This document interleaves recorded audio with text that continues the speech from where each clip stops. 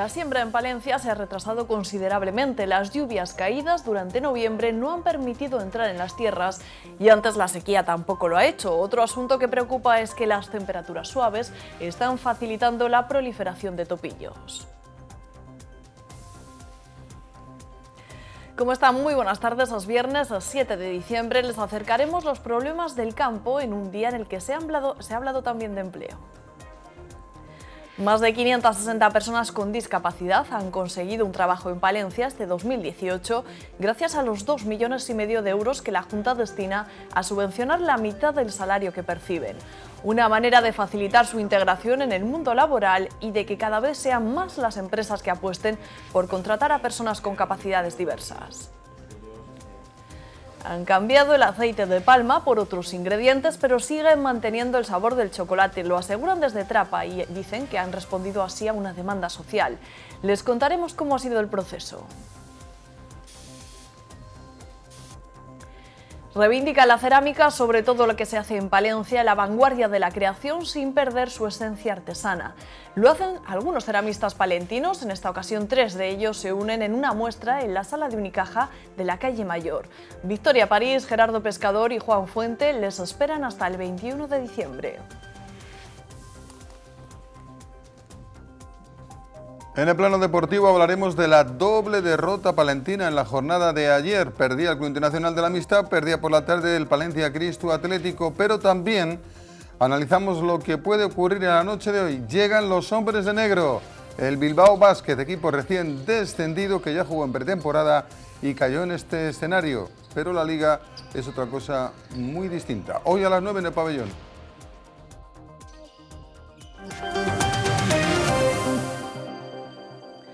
Y comenzamos este espacio de noticias en la 8 Palencia hablando de empleo.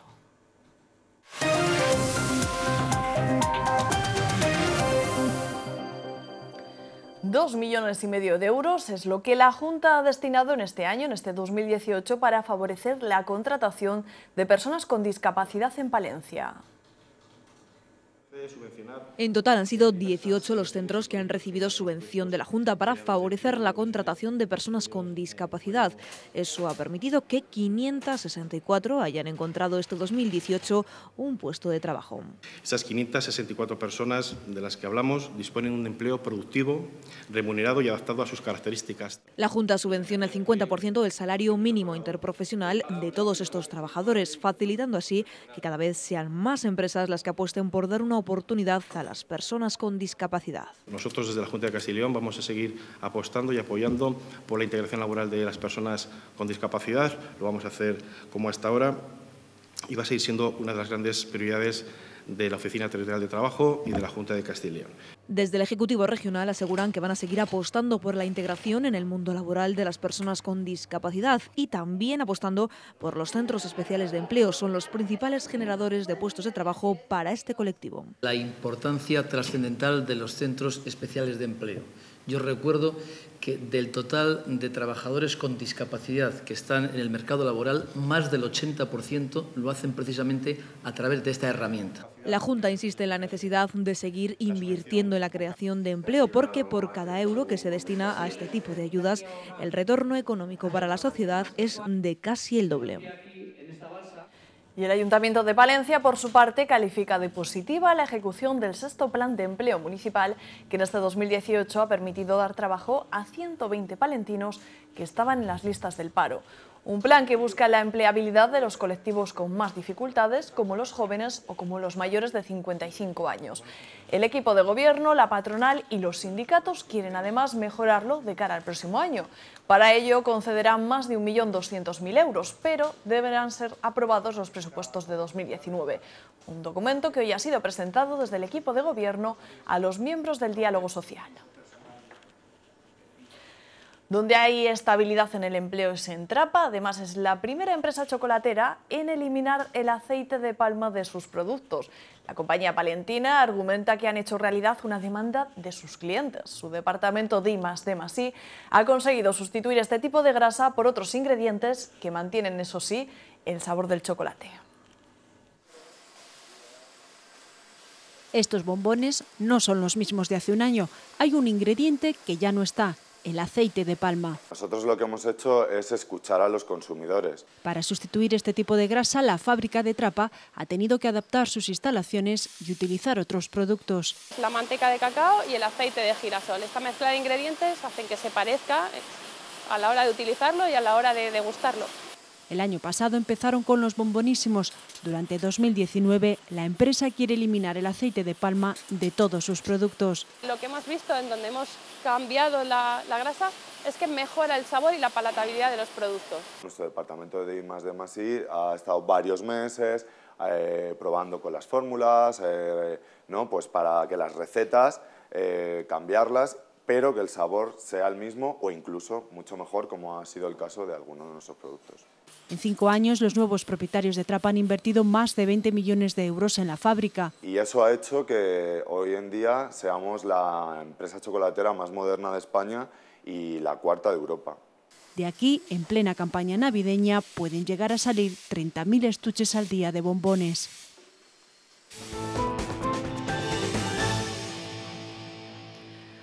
Se lo, decíamos al inicio, la siembra en Palencia se ha retrasado considerablemente, solo han podido realizar las labores en la mitad de las parcelas. La sequía vivida hasta el, hasta el mes de octubre ha impedido sembrar. El pasado mes de noviembre las abundantes lluvias tampoco han facilitado estos trabajos.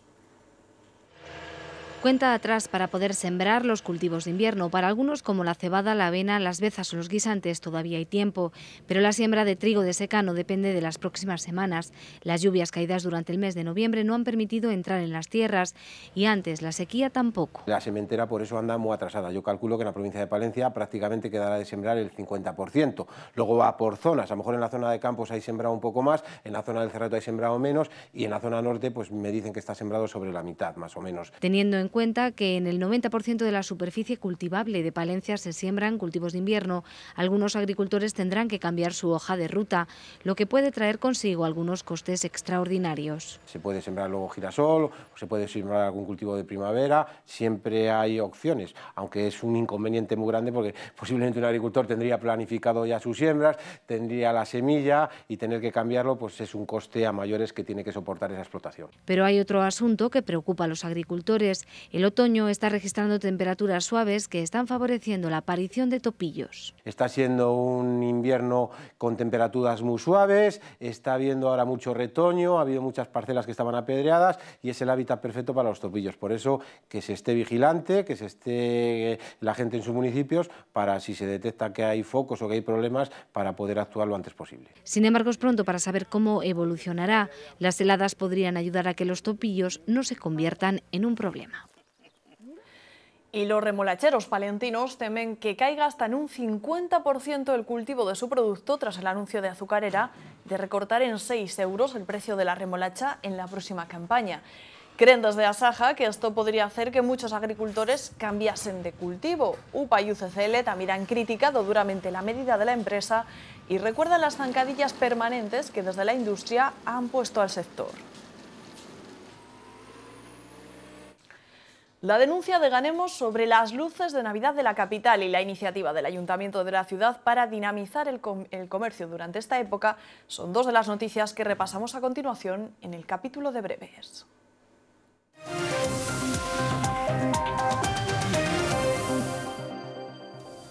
Ganemos denuncia irregularidades en la iluminación de Navidad.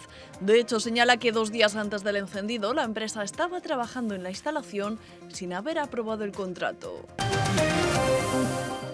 Correos lleva en Valencia más de mil etiquetas ambientales para vehículos vendidas. Etiquetas que no son obligatorias excepto para entrar a centros urbanos restringidos por la contaminación, como el de Madrid. El ayuntamiento propone dos novedades para promover la dinamización del comercio durante Navidad. Una es relativa a los locales vacíos, unificar su imagen y facilitar información a los posibles interesados en alquilarlos o adquirirlos. La otra será el reparto de bolsas reutilizables con una imagen muy representativa del comercio. Y hablando de comercio, hablando de Navidad, el centro comercial Las Huertas ya está preparado para la llegada de Papá Noel y de los Reyes Magos. Todos los niños que lo deseen pueden entregar sus cartas en el buzón ubicado en la zona central de Las Huertas e incluso algunos días ellos mismos, Papá Noel y sus majestades de Oriente acudirán a escuchar las peticiones de los niños palentinos. Allí también pueden disfrutar de talleres navideños para aprender a hacer dulces, figuritas para el Belén o adornos.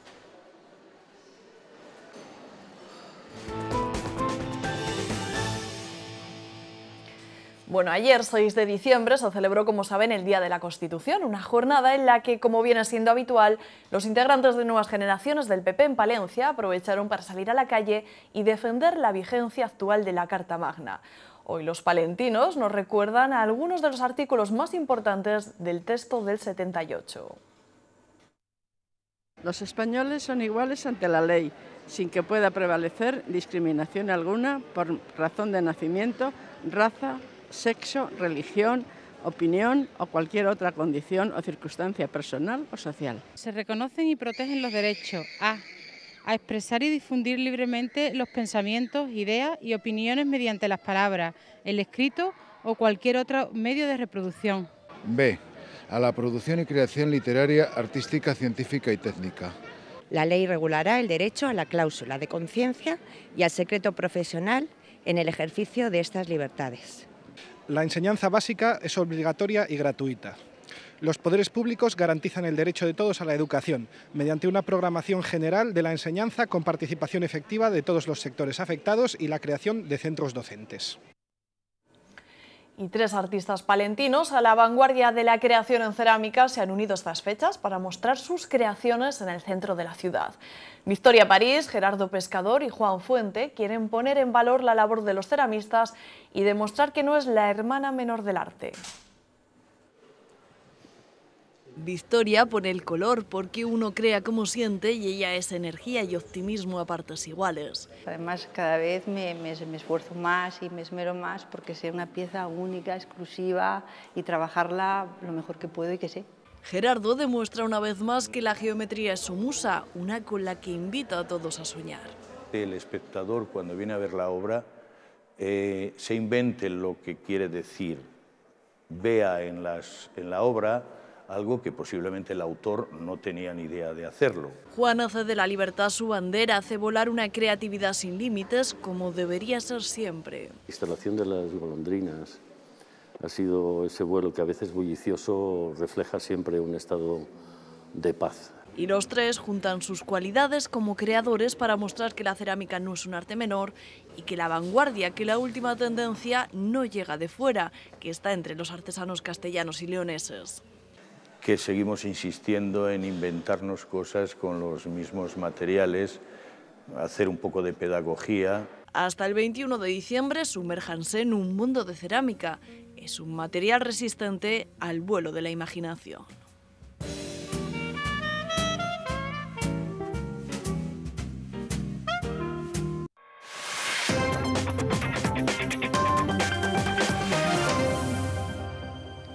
Alberto, muy buenas tardes. Buenas tardes. Comienzas hablando del más que emocionante partido de chocolate Estrapa de esta misma noche. El Bilbao. Efectivamente viene el Bilbao Basket, los hombres de negro de Mumbrú, equipo recién descendido de la Liga ACB, pero que ya ha jugado este año en el pabellón. Partido amistoso, victoria morada.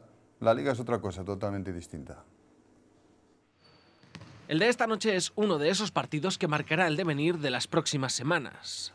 La verdad es que estamos muy concentrados día a día ahora esta semana, preparando muy bien el partido porque es un partido importante en casa y ante Bilbao que es uno de los aspirantes a, todo. El Retabet Bilbao Basket visita al Chocolate Strapa. Ambos se encuentran empatados en la lucha por la Copa.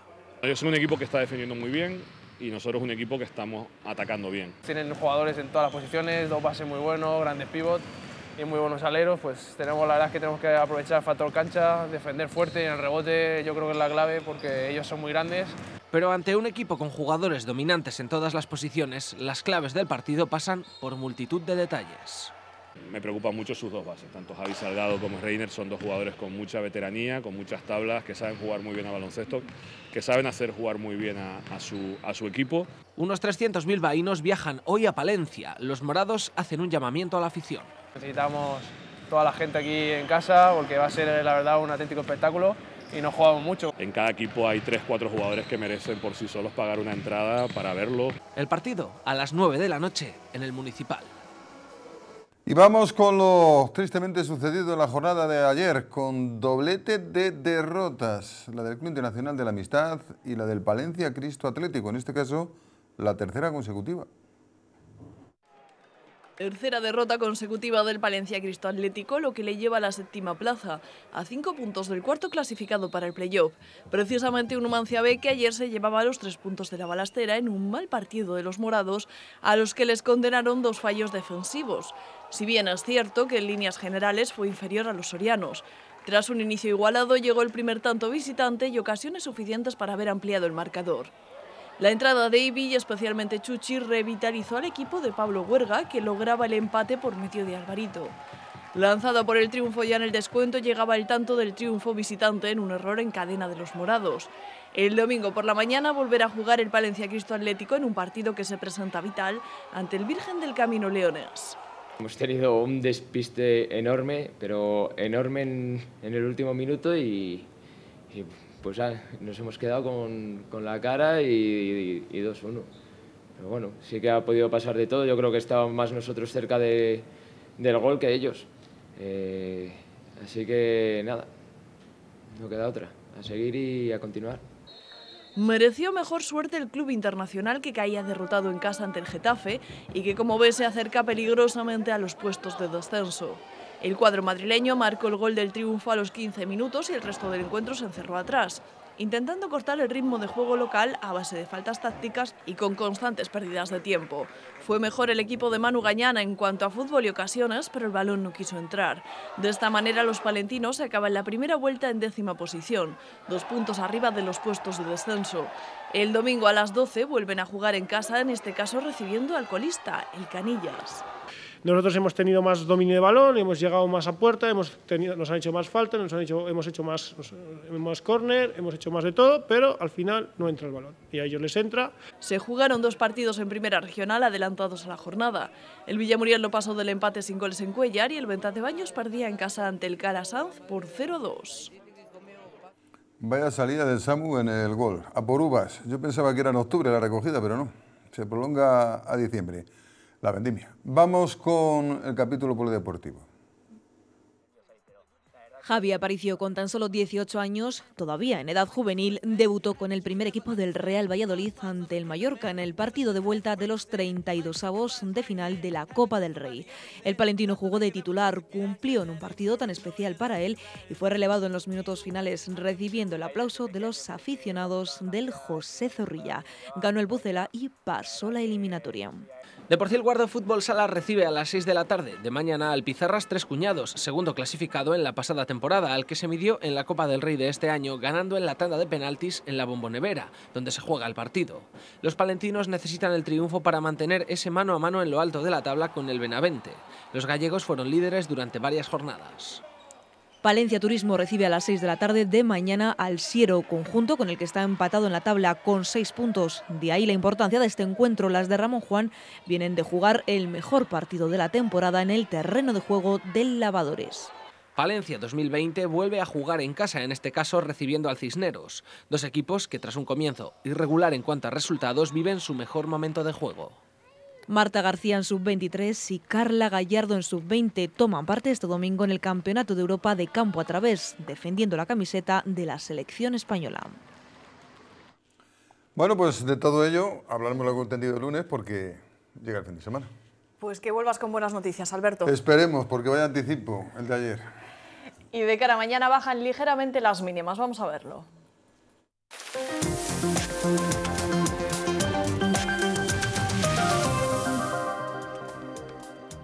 Temperaturas mínimas bajas, sobre todo en la zona norte, donde podría bajar el termómetro por debajo de los 0 grados, como vemos en Castrejón de la Peña. Las temperaturas máximas serán algo más estables, quedándose en torno a los 13 o 12 grados o incluso bajando hasta los 9 de Brañosera o Aguilar de Campo. Nubes de evolución pero sin riesgo de precipitaciones durante toda la jornada. En la zona de la Valdivia, cielo parcialmente cubierto, pero igualmente sin posibilidad de chubascos, lo mismo que encontramos en la comarca de La Vega. Temperaturas que aquí podrían alcanzar los 10 grados centígrados, pero quedarse únicamente en el grado. En la zona de campos, temperaturas que podrían alcanzar los 10 grados igualmente y mínima también bastante baja que se quedaría en torno a los 0 grados o como mucho a los 2. Cielo cubierto en la zona de Cerrato con tendencia a despejarse a lo largo de la jornada, escasa posibilidad de precipitaciones. Temperaturas máximas ligeramente más agradables que en el resto de la provincia, pudiendo llegar a los 3 grados. Máximas que se quedarán únicamente en los 11.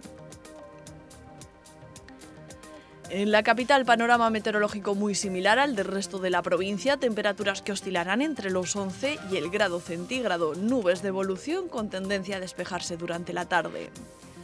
De cara a los próximos días comienzan a bajar las temperaturas, sobre todo las mínimas. Ya ha vuelto la programación cultural a las 22 bibliotecas de la red provincial.